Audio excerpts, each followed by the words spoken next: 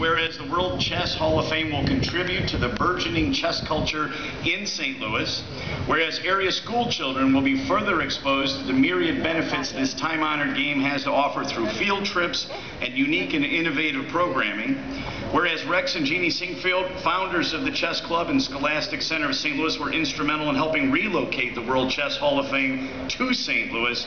Now, therefore, I, Francis G. Slay, Mayor of the City of St. Louis, do hereby proclaim September 8th, 2011 as World Chess Hall of Fame Day in the City of St. Louis.